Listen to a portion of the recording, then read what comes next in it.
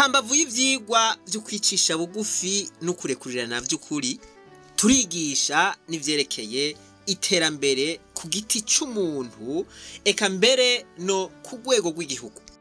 Ni gute wokwiteza imbere wewe ubwawe ni gute igihugu cotera imbere? Wewe uteye imbere igihugu naco kiratera imbere hakaba ukuroranirwa uwuroraniwe aba ari mu munezero. None ni gute twoshika aho turoranirwa mu yandi majambo ni gute twoshika kuri uwo munezero. Muri iki cigwa c'ivy'ubutunzi mu ruganda rwo guhugura abagize leta hari hatumiwe umuhinga w'umunyamaroke mu vy'ubutunzi. Iki cigwa ni mugikurikirane avec attention. Atakajambo na kamwe kabasovye. Hanyuma turaza kubona ibikurikira. Uno munsi nifuza yuko ari mwe mutora inyishu z'ibibazo bihanamiye uburundi kugira ngo dushobore gushika ku iterambere rirama mu mwaka w'ibihumbi bibiri na mirongo ine. Sayiye ompare mana yanje mana yanje murambaga twagiye. Reka ntangurire ku bimaze kugaragara. Bivanye n'umuvuduko w'iterambere muri afurika uburundi bugira igihugu ca mirongo ine na gatandatu mu bihugu mirongo itanu na bine vyo muri afurika ni ukuvuga yuko uburundi buri mu bihugu bikiri inyuma cane ku vyerekeye ikibazo c'umuvuduko w'iterambere. Ivyo nivyo bimaze kugaragara. Muti kubera iki none bukiri kure y'uwo muvuduko? Ni kubera hariho ibibazo muri politiki hariho ihungabana hariho ingorane z'ubushobozi bw'inzego za leta ni ukuvuga ko hari ingorane zo gutunganya ivy'intwaro ivyo gutunganya ubutunzi n'ibindi. Hariho ingorane y'umutahe w'abantu b'abakozi biboneka ko higaragaza abakozi benshi mugabo atari beza. Hariho iyindi ngorane yo kutagira amahirwe angana. Nibaza yuko namwe mumaze kubibona kutagira uburenganzira bumwe ku maserivisi ariho ku muyaga nkuba mu ndero n'ibindi hariho n'iyindi ngorane yibonekeza mu vyigwa vya kaminuza. Iki rero ni ikintu gihambaye naho leta igerageza kubishiramo umutahe. Ubu naho ni gute izo ngorane zokemurwa? Vyiza ibikorwa vy'abigenga vyoshigikirwa. Vyoba vyiza ko abikorera ivyabo bagira uruhara mu muvuduko w'iterambere. Bisigura iki? Bisigura ko hakwihutira cane guteza imbere ibisata vya leta. Ahubwo ibisata vy'abigenga vyoshigikirwa cane yaba amashirahamwe mato mato agereranye canke manini nuko leta yoshiraho icuka cotuma ayo mashirahamwe akora yidegemvya leta ikagabanya amakori ikorosha amategeko mu bijanye n'intwaro ayo mashirahamwe akoroherezwa. Ni ukuvuga igatyorora ibijanye n'intwaro nziza. Bisigura igabanuka ry'igiturire muri make ni uko ibikorwa vy'abikorera utwabo vyoshigwa imbere. mu vy'ukuri iyo yoba ari filozofi yofasha cane. ubwa kabiri kugira ngo ivyo bikorwa vy'abikorera utwabo bikomere leta itegerezwa gushiramwo uburyo. ivyo bisigura iki? aha hategerezwa kubaho ibintu bibiri. ubwa mbere leta itegerezwa gushiramwo umutahe ugaragara. Uwo nawo ukabonekera mu nyubako naho akigoro kariho mugabo ntigakwiye. Aha ndatanga nk'akarorero murazi ko nko ku birometero ibihumbi cumi na bibiri vy'amabarabara ari mu burundi ibice ndwi gusa kw'ijana nivyo birimwo ikaburimbi murumva yuko igikorwa kiba gisigaye gukora ari kinini cyane tuvuze rero umutahe mu bikorwa leta itegerezwa gukora eh, harimwo n'ivyo itegerezwa kuzirakora canke entretien. Nk'ikibuga c'indege amabarabara ni uko itegerezwa kuzira bisubiramwo. Kuko mu gihe vyononekeye cane yohava ziratangurira kuri zero. Twari tuvuze mu ncamake duti ni uko yotunganya ivy'umutahe ugaragara. Ico twokwita kapitale fizike ariko ivyo si ukuvuga ko bimaze. Ego boshobora kubaka ibibuga vy'indege. Ariko abotunganya ivyo bikorwa nabo ntibafise ubumenyi buhagije. Ni ukuvuga ngo bimeze uko rero uri kurirukana abakiriya uri kurirukana ba mukerarugendo. Bivuye kuki? Bivuye ku kubura umutahe w'abakozi. Bisigura rero ko ari ukutunganya neza ibijanye n'inyigisho. Aha novuga gutunganya inyigisho zijanye n'igihe. Inyigisho zijanye n'ivyo Burundi bukeneye n'ibindi. Nk'akarorero mu gihe wowe ugomba guteza uburimyi mu Burundi. Mbega ni byiza ko wobandanya wigisha abafonkisiyoneri mbega nabo bafonkisiyoneri bazoja kurima? Mu by'ukuri ugomba guteza imbere ico gisata c'uburimyi bisaba gutegura neza ishure ry'uburimyi. Ivyo nivyo ibihugu bimaze gutera imbere mu vy'uburimyi nka biriya bihugu vyo muri aziya vyakoze mu kwijukira ubushakashatsi mw'ico gisata. Vyashizeho amashuri adasanzwe mu vyerekeye ico gisata c'uburimyi. Byashyize umutaha ukomeye mu bushakashatsi bw'uburimyi. Nk'akarorero jewe mba mu gihugu c'ubugaragwa. Ntibisigura yuko duca duheba kurima ngo nuko ari mu bugaragwa. Dutegerezwa gutera ibiterwa birinda ubugaragwa. Murumva yuko ivyo bica bivana n'ubushakashatsi buba bwarakozwe. Muri make ni ugufasha cane abashakashatsi. Muca mwumva ko ari ugushira umutaha ukomeye mu bantu kugira ngo bashobore gushika kwihangira. Hambavu y'ivyo rero ni ugushiraho amategeko atomoye. Mvuze ivyo kuko uburundi ntibushobora kwikorana bwonyene. Burakeneye abanyamitahe. Ni ugushiraho icotuma abanyamitahe mvamakungu baza. Ni ukuvuga ko mwebwe nk'abarundi bigenga mubwirizwa kwiyugurura. Mu gihe baje murafashanya gushyiraho ibikorwa bizokorwa vugana muti mwebwe mugomba kuronka amahera angana uku. Ariko kandi mubwirizwa kugira n'urugero rw'abakozi bangana uku. Aha ndatanga akarorero k'ibyabaye muri maroc. Nibaza ko muza mwarabyumvise aka karere ngo mvuge kari gakenye. Ako karere nta buzi bwarimwo ni akarere kari hafi y'uburayi. Muri ako karere abakiri bato benshi baca bigira i burayi mu buryo butemewe n'amategeko. Hagati y'imyaka nko mu bihumbi bibiri leta ya maroke yashyizeho ikivuko hambavu y'ico kivuko icishiraho akarere k'amahinguriro. Ikizana abanyamitahe mvamakungu abo nabo baca bazana ihinguriro hono rihingura imodokari. kuva rero mu bihumbi bibiri gushika ubu maroke n'igihugu ca mbere muri afurika gifise umwimbu mwiza mu vy'imodokari. Murumva yuko ivyo vyabereye muri ka karere katarimwo akazi hamwe abakiri bato baguma bigira i burayi. Bisigura iki mu gihe ufashije abanyamitahe mvamakungu kuzana imitahe yabo ni ukuvuga ko uba utumye ubutunzi bwiyongera kandi uba ugabanije n'ubushomeri. Si ugupfa kuvuga gusa imvugo za politike n'ibindi ngo twebwe turikwije oya siko bikorwa ahubwo bisaba kwiyugurura. Ugaprofita experience z'abandi. Mu gihe babazanye iyo mitahe yabo nawe uba uri kuriga. Uhigira ko mu myaka cumi n'itanu cyangwa mirongo ibiri uba ugeze aho uvuga yuko wokwigenga si by'ukuri none? Dufatire akarorero nko ku bushinwa. Iyo ubushinwa butiyugurura bukavuga buti reka dufashe abanyamitahe mpuzamakungu buba buragera aho bugeze? Sinibaza. Byumvikana yuko ukwiye korohereza abanyamitahe mpuzamakungu. Kugira ngo none abo banyamitahe mpuzamakungu bashobore kwiyumva neza. Bokora iki? Nimwishyire mu kibanza cyabo nk'uko babona ubwizigirwa canke confiance. Ni igiki kizomuha kugira confiance? Ni amategeko atunganije neza.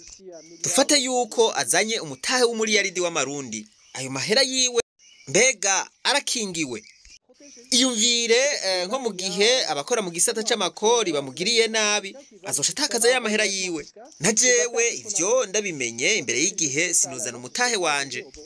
Muri make no kumenya gukingira abanyamitahe mvamakungu ivyo navyo bica mu mategeko atunganije neza. Ubwa kabiri kubagabaniriza amakori. Ubwa gatatu ni uko haba itunganywa ry'amategeko riborohereza. Mu gihe habaye itunganywa neza mu by'intwaro abanyamitahe mu by'ukuri baca babona akaryo keza ko kuzana imitahe yabo.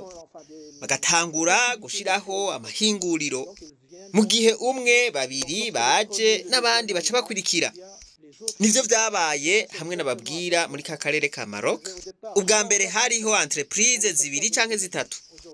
Ubu hariho ama entreprise agera ku majana atanu. Kubera iki bagiye barabona yuko abandi baronka amahera muri ako karere. Muri make ni ukwita ku itunganywa neza ry'ivy'intwaro. Ico twokwita amelioration du cadre institutionnel canke canke le capital institutionnel.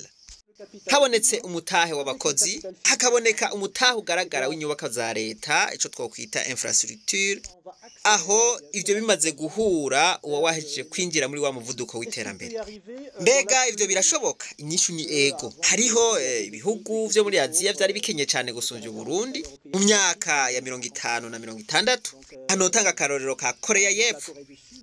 Muri iyo myaka abanyagihugu bajya rimwe gusa. Nizera ko mu burundi n'imiburiburi abanyagihugu bafungura kabiri ku munsi. Ugereranije rero urumva yuko hariho ubudasa. Urumva yuko koreya yari igowe gusumbya uburundi. Murumva yuko igihugu gikenye gishobora kugira umuvuduko udasanzwe w'iterambere. Kibanje gutunganya ibintu neza cyangwa sitarateji ibyo na byo icambere n'uburongozi bwiza. Mu gihe hatariho umurongozi yiyumvira ku nyungu za benshi iryo terambere ntiripfa ryarabayeho. Nibaza ko u rwanda rushobora kubishika ko rwihuse gusumbya uburundi. Nibyo paul kagame umuntu yomukritika ivyo umuntu yokritika ntivyobura. Mugabo mu vy'uburongozi arafise ubwo burongozi bwotuma igihugu kimukwirikira kandi ico kirakomeye. Hanyuma nk'uko nabivuze ni uguhindura amategeko y'urukino. Aha ndavuga amategeko atunganya ibikorwa by'ubutunzi ukaguma ibyo ukora byose worosha worosha. Ukuguma worosha ni kuguma ukwega amahera. Voilà, aho simba ninjiye indani mu by'ubuhinga ugabanije ubukari bw'amakori ukagerageza gutanga impusha ni ukuvuga ngo ukorosha ibironderwa muri administration ibyo ntuvyoroshe ku banyamahanga gusa ukavyorosha no ku barundi bonyene ntuvuge ngo nta banyamitahe b'abarundi bariho. Oya bariho wampaye inka ingorane ni uko bihebuye. Ivyo bigaca bituma baheba. Bariho mugabo barihebuye kubera kubura ubufasha. bacibwa inkokora n'amategeko adatunganijwe neza. amakori y'urutavanako ubakuye kugo rusyo ukaborohereza. birumvikana ko boca batera imbere bihuse. Bagatera imbere bagononokewe. Benshi murumva ko boca bakora. uvuga rero ko mu bihumbi bibiri na mirongo ine uburundi bwaba buteye imbere. Bo ni ibyifuzo byiza birashobora gushika ariko nibaza ko mu burundi bikeneye umwanya munini. Murazi none kintera amakenga cyane hatabayeho integuro nshasha mu by'intwaro mu byo guhindura amategeko. Bo ibyo mvuze n'ibisanzwe ariko ikinteye amakenga cyane ni stabilite politike rasha stabilite politike ndagisigure gute mu kirundi. Reka mvuge nti stabilite politike ni cuka ciza muri politike uwo kumva akajambo kangoye kadasukuye neza aragira icyo akavuga ko agatumbereze neza. Eh hariho amajambo agoye gusigura mu kirundi wampaye inka. Bon reka tubandanye. Ahantu ushobora gukoresha ijambo kumbure rishobora kubababaza. Reka nihoze ibya demokarasi.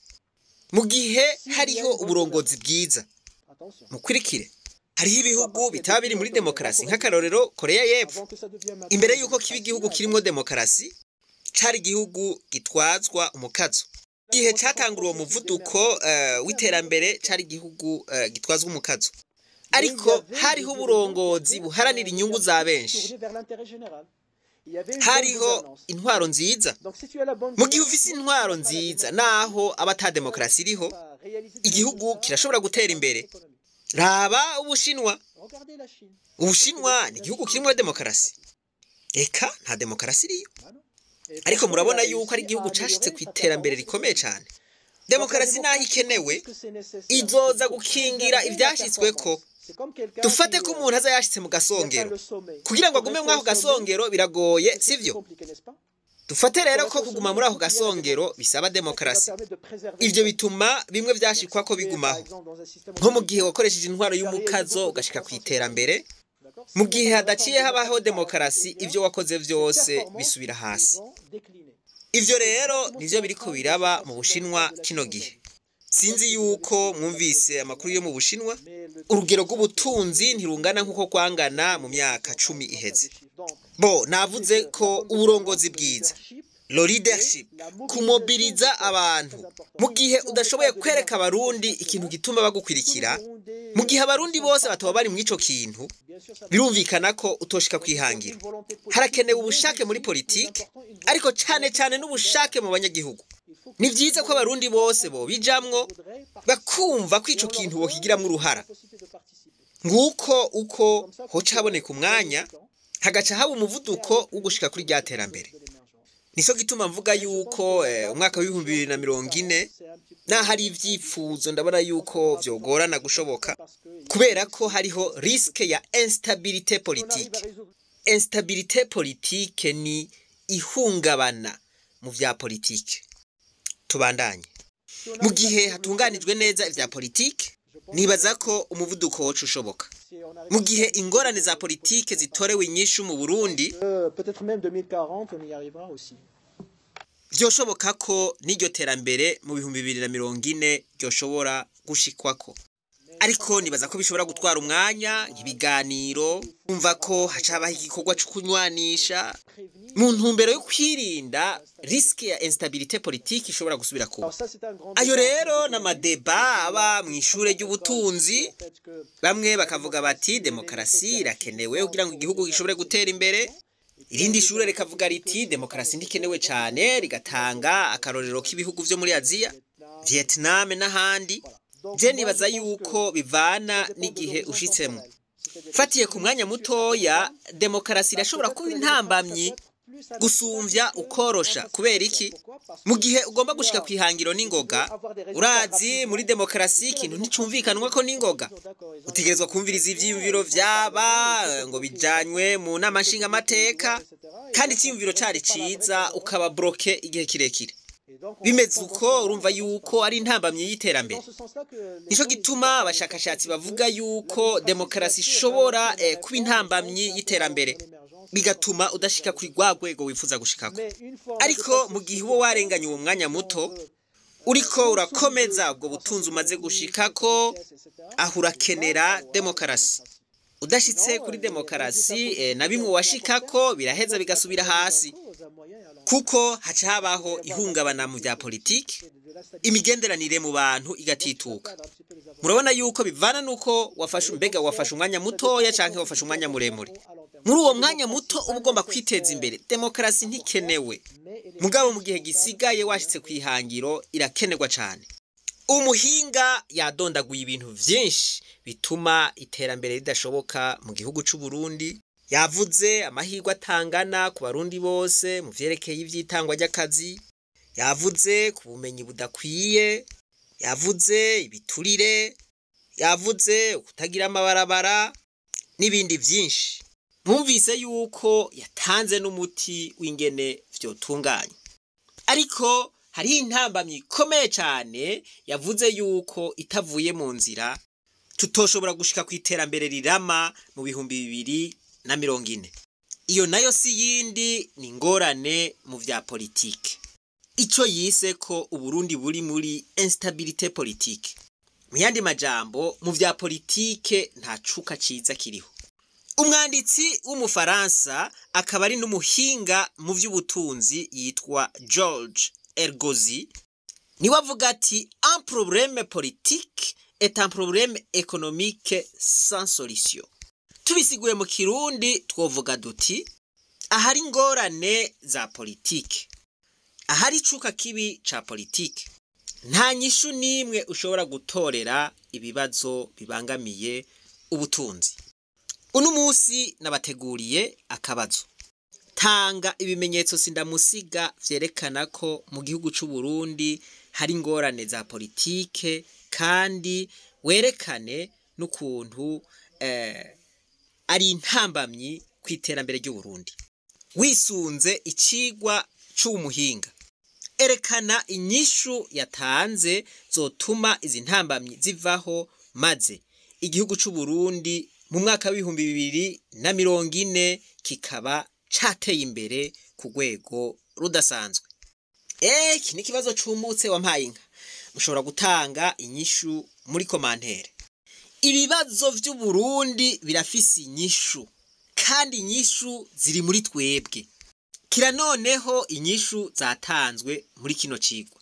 Mu minsi iza nzobategurira icigwa cunganira iki duhejeje. Bone chance ndabifuriza amahirwe. Baca umugani ngo wanka kuvuga ukuri abandi bakagutanga kukuvuga. Ushobora kuba ubona inyishu ukanka kuyivuga mugabo abandi bakayivuga tu. Ndabasavye umuntu adafise ivyizigiro abigire muri we kandi ari vyinshi kuko je ndumva imirindi y'ugukizwa ndumva imirindi y'ugutabagwa wampaye inka. Imana nibahezagire cane mu gikorwa muza gukora. Reka twibananize rwa rugendo maze tugaruze umunezero satani yatunyaze. Umuntu atarashika mu ishure ry'abarundi bose turamuhaye kaze ndabibutse ko tukiri muri rya sekeza kugura ibikoresho by'ishure ry'abarundi bose. Nayo umuntu ashimishwa n'ivyigwa bica ngaha mu ishure ry'abarundi bose turamusavye yuko yogira ico akoze mu guterera kugira ngo ivyigwa bibandanye bitera imbere. Kugira ngo bishobore kudufasha gutegura ivyigwa neza n'aya majwi ashobore kubashikira atankomanzi uwifuza guterera arashobora kutwandikira kuri whatsapp yacu canke naho agakoresha link ya gofundme tuyishyira muri description.